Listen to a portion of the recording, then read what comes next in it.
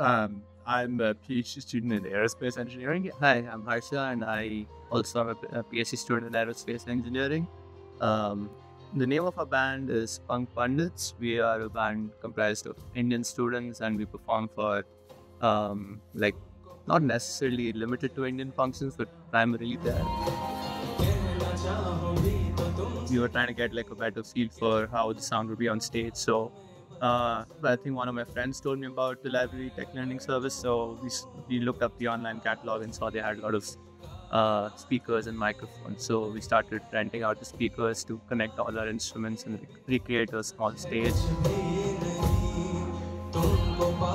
We borrow uh, speakers and uh, wireless microphones. So the speakers allow us to play with electric guitars and basses.